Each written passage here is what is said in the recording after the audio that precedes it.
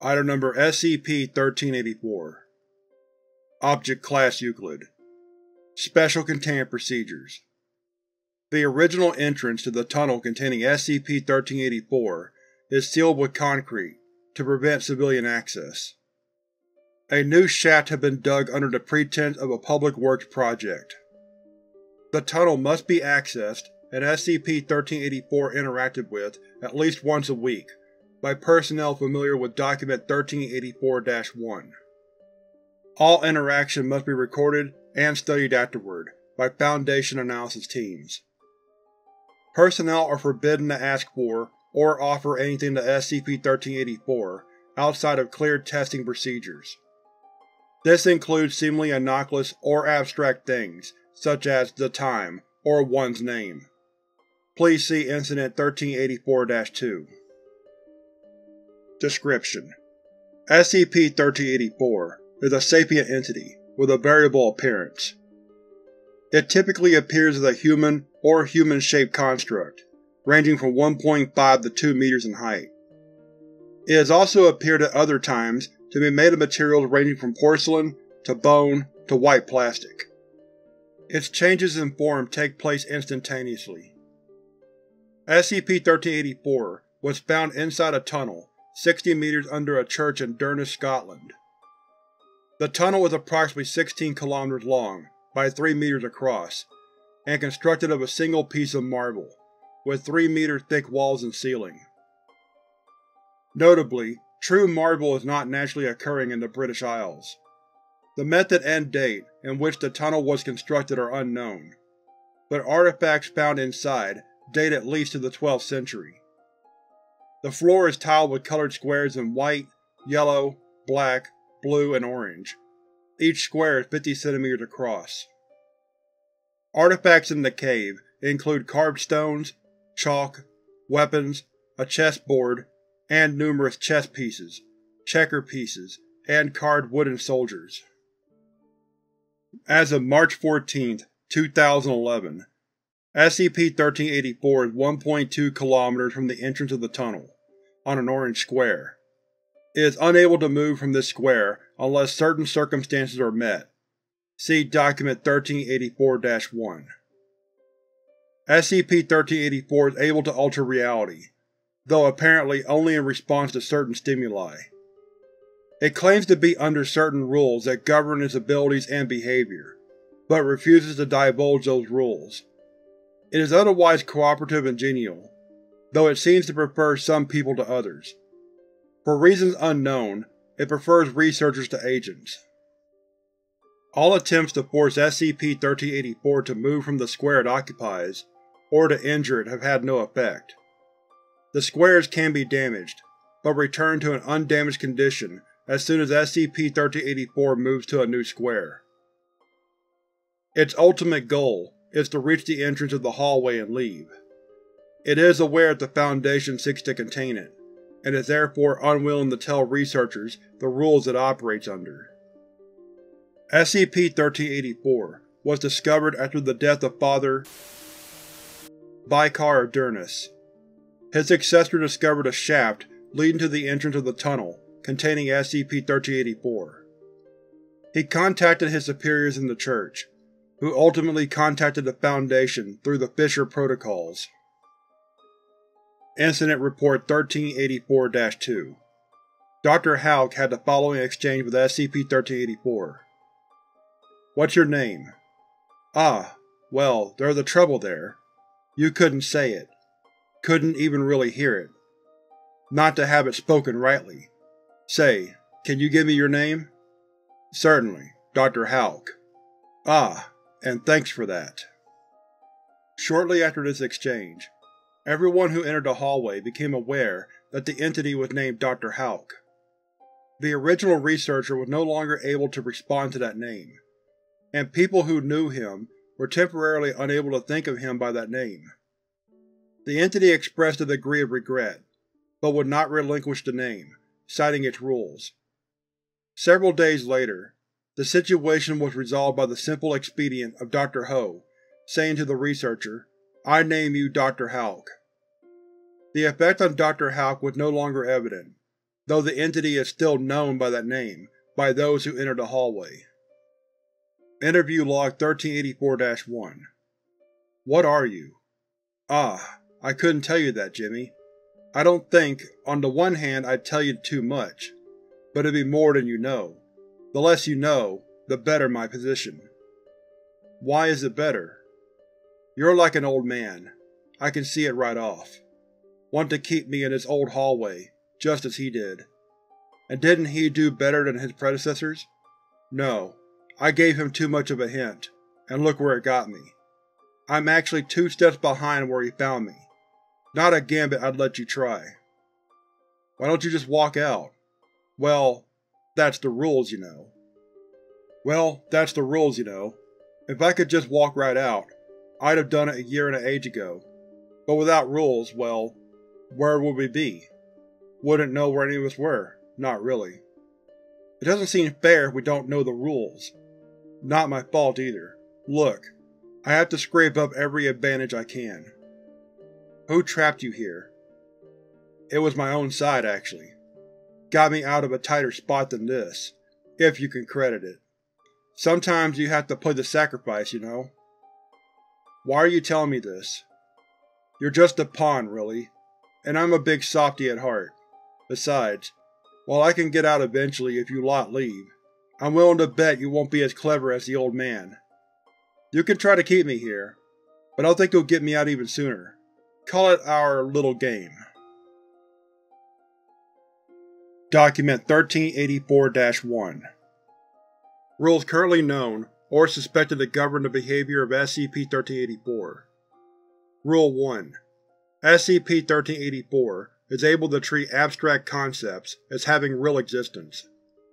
See Incident SCP-1384-2 Rule 2 SCP-1384 is able to take a step forward if it is left alone for 13 days. Initial containment procedures were focused on not approaching SCP-1384, on the theory that it would be unable to advance without interaction.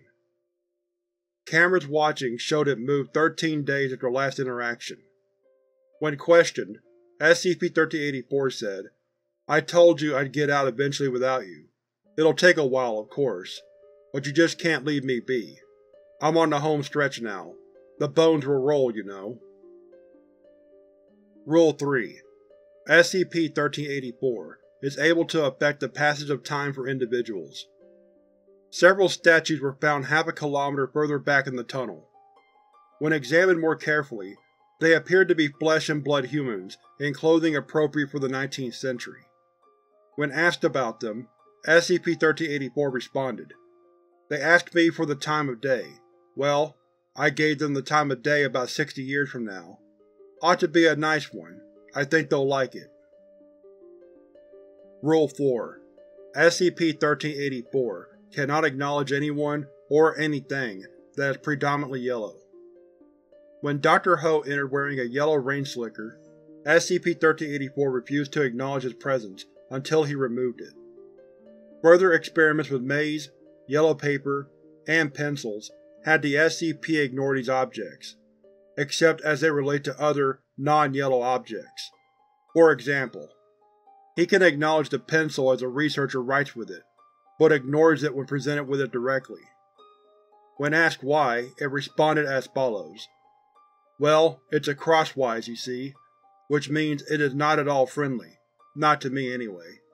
I suppose my buddy's got no problem there, but we can't help where we sit, right? Researchers painted the floor ahead of SCP-1384 yellow. However, the paint vanished the next time SCP-1384 made a move. Rule 5 SCP-1384 is able to take a step forward if certain people cross its shadow while walking in a clockwise direction. Dr. Ho was performing a careful inspection of SCP-1384's form when he walked around it. SCP-1384 stepped forward into a black square.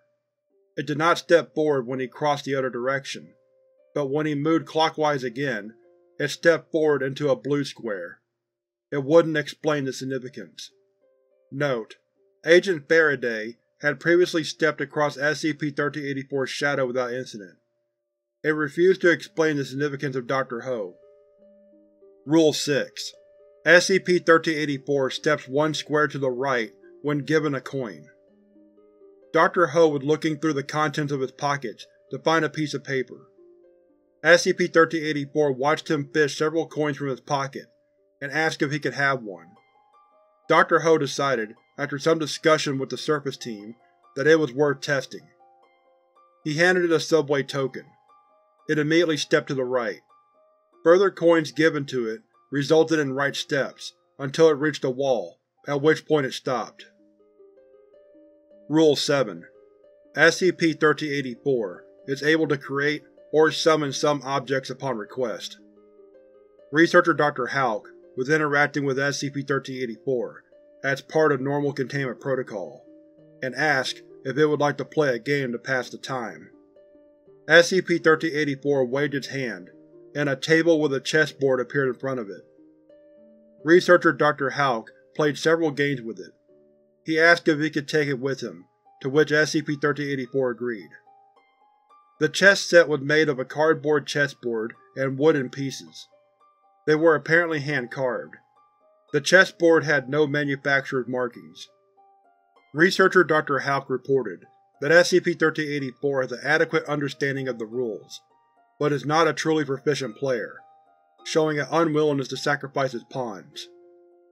Rule 8 SCP-1384 is forced to take a step back when certain people enter the hallway.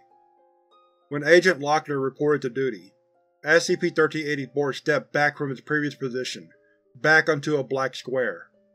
However, when she tried to re-enter, SCP-1384 said, Already used your turn, love. Agent Lochner was able to enter two more times over the next two days, each time driving SCP-1384 back. However, it ceased working shortly after. Further attempts had no effect on SCP-1384. Rule 9 SCP-1384 is unable to step into a yellow square. Researcher Dr. Hauk inadvertently stepped clockwise across SCP-1384's shadow. SCP-1384 started to step forward, but stopped halfway, and returned to its original position. Blast! Should have been watching. Could have been a bad one, that. Well, I'll get to the side eventually. Rule 10. SCP-1384 is unable to change form at will. The trigger for these changes is currently unknown. Researcher Dr. Hauk asked SCP-1384 if it could change again after it assumed the form of a skeleton. It replied, Sorry lad, it's this or nothing for a bit. It's a rum card for sure, but we'll pass again in a bit, and with a little luck, you'll like me a bit better, eh? Rule 11 SCP-1384 is able to send people elsewhere, or possibly to destroy them. A D-Class personnel was brought in for testing SCP-1384's indestructibility. It was given a knife and told to attempt to cut SCP-1384's arm, which it attempted several times to no effect. The following exchange took place. Not that I mind so much, but what was trying to carve me up? They told me to cut you, Dr. Hauk. I get to go if I do what they tell me. Well, I do understand that. I'd get out myself if I could. Of course, I'll walk out eventually. Wish I could just up and get out of here. Do you? Well, as you like. D-5350 vanished. When Dr. Ho asked if the D-Class personnel was dead, or could be brought back, SCP-1384 responded, I didn't kill him. He just went back to the start. I might be able to bring him back if you ask, but you probably wouldn't like it. Neither would he. He'll be back on his own eventually. If I bring him back, I can tell you right now I won't get it right. That's for free. I get no advantage from that deal. Shortly afterwards, the pattern of the tiles changed, and now contained red tiles as well as the original colors. Rule 12. SCP-1384 is unable to touch any person. This was previously assumed to be a rule, as SCP-1384 studiously avoided any direct contact with any person. However, when Agent Barnes held out his hand, SCP-1384 accepted it and shook. When asked, it said, Oh, I was just being polite, you know. I don't just up and prod people. I do have manners. I'm not a pick, you know. Actions SCP-1384 is able or compelled to perform, but for which the trigger is unknown. Step to the left. Step forward when no one crosses its shadow. Step backward when Agent Lochner is not present. Give gifts of chestnuts and bronze knives. Remove its own head. Change form. Know things that it could not learn from conversations that have taken place inside the tunnel. Current events, cultural references, hobbies, and interests of researchers and agents assigned to it. When Dr. Ho was about to tell it that it had been given a reference number, it correctly guessed that the number would end in a 4.